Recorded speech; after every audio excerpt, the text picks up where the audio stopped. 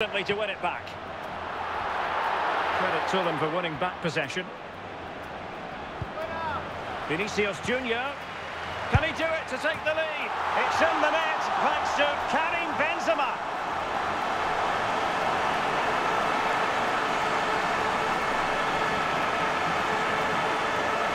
Well, it's a goal you'd expect him to score, but he kept his cool and he put it away nicely. He'll be happy with that. Oke, selamat datang di channel Adi Chandra Review. Di video kali ini aku bakal buatin ke kalian tutorial download emulator Suyu. Ya, ini emulator yang menurutku cukup lancar ya. Jadi kalian bisa coba aja di HP kalian.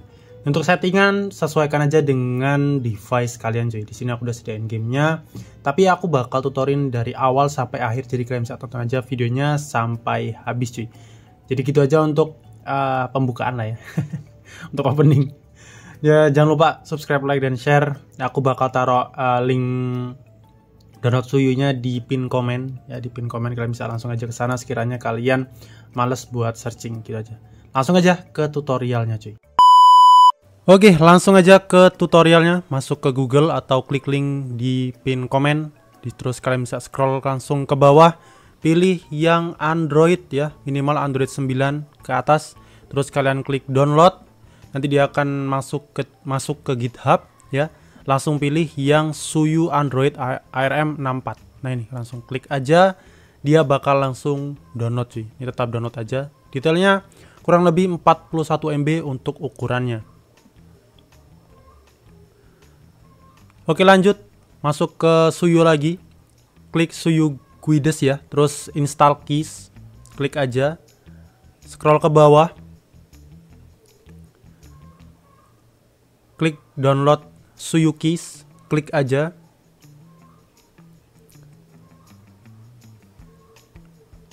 Scroll ke bawah ya. Kalian tinggal scroll ke bawah lagi.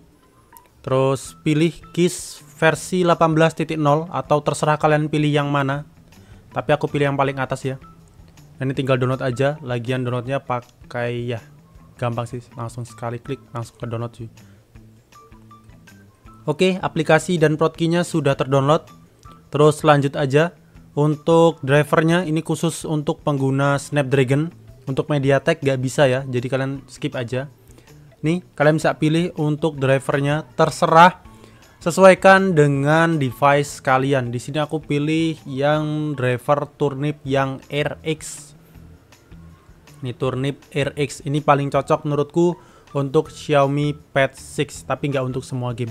Ya, nggak semua game cocok untuk driver ini. Makanya kalian bisa coba-coba aja atau enggak kalian bisa download semuanya lah, terserah kalian lah ya. Untuk driver. Terus lanjut untuk firmware-nya di sini untuk firmware ya di sini nggak ada yang bisa di-download sih. Seriusan aku udah coba download firmware-nya cuman nggak ada yang bisa. Jadi kalian bisa skip aja untuk firmware-nya karena tanpa firmware pun aplikasi Suyunya masih bisa dimainkan cuy ya. Jadi kalian bisa skip aja. Oke, langsung aja kalian install untuk aplikasi Suyu emulatornya cuy ya. Kalian ke download, terus kalian pilih uh, emulator atau aplikasinya dulu. Kalian langsung install aja. 42 MB harusnya cepat sih. 47 apa 42? Iya, 43 MB harusnya cepat. Tunggu aja bentaran.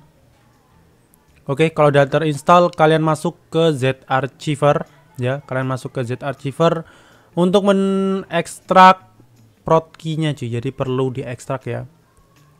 Ekstrak dulu, lagian cuman 30 KB harusnya cepet banget sih tuh. Langsung ya. Prot key-nya sudah terekstrak. Kalau sudah masuk ke emulator Suyu, langsung aja klik dan masuk pergi ke setting. Sebenarnya ini udah harusnya di setting awal-awal dulu ya. Cuman ya settingan awalnya sama kayak Yuzu lah. Ini karena aku udah pernah pasang jadi nggak perlu setting awalan lagi. Untuk ada fitur tambahan ya di Suyu ini ya, yaitu mapping uh, mapping manual untuk gamepad. Jadi kayaknya kalian bisa main dua sih. Cuman aku belum cobain cuy. Untuk drivernya di sini tinggal pasang aja untuk pengguna Snapdragon. Kalau pengguna MediaTek ya nggak bisa untuk pasang driver ya. Di driver turnip driver turnip RX ya yang udah aku download tadi. Kalian bisa langsung pasang aja untuk pengguna Snapdragon.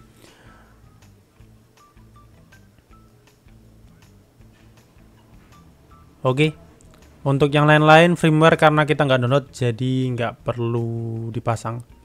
Ini karena gamenya tadi belum kebaca kalian langsung ke manage game langsung cari file game kalian cuy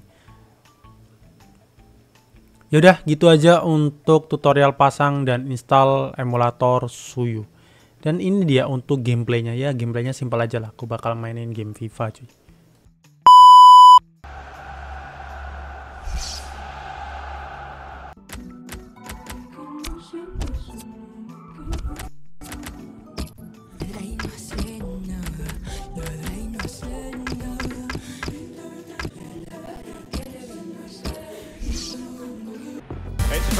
Very much a of football, the Santiago Bernabeu, right here on the Spanish capital, Madrid.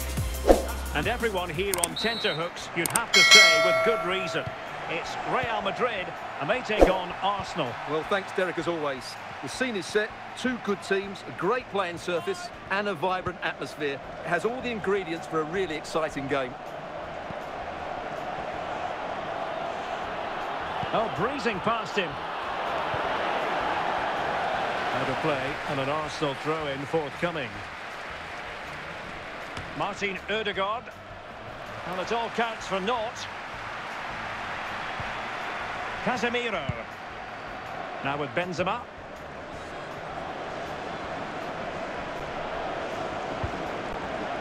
It's with Odegaard. It looked as though they had attacking momentum, but not so. Modric. Now Casemiro. And now Rodrigo.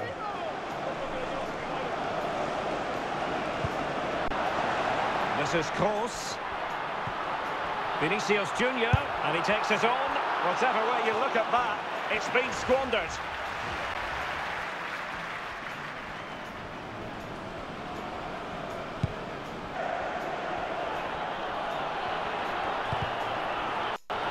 Kick given to Arsenal.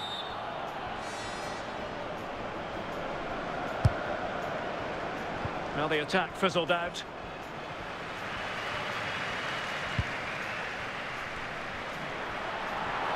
Benzema.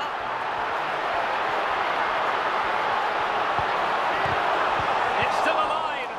Just the clearance that was called for. Over the touchline for a throw-in. Eye-catching piece of goalkeeping and worthy of another look. And he clears the danger. Now Casemiro. Can they get themselves in front here? Shot blocked, but still alive. Over the touchline for what will be a Real Madrid throw. Tony Kroos. Now Casemiro. Modric! So, a Real Madrid corner.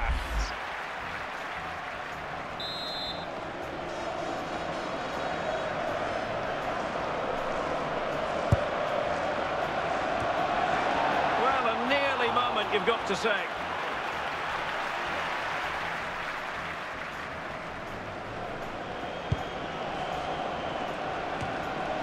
Granit Xhaka. Now Zinchenko. Partey. Now the ball lost here. This is Kroos.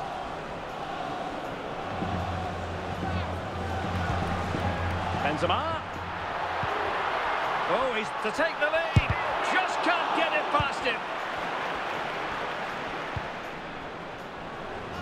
Options in the middle. And it's offside. That was very close.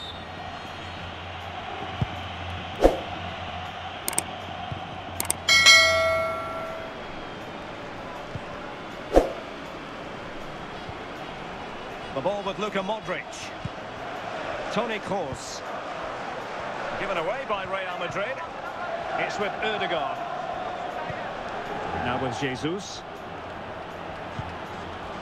Casemiro acquitting himself magnificently to win it back. Credit to them for winning back possession. Vinicius Junior.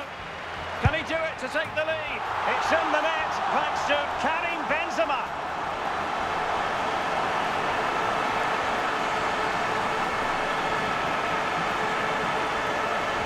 It's a goal you'd expect him to score, but he kept his cool and he put it away nicely. He'll be happy with that.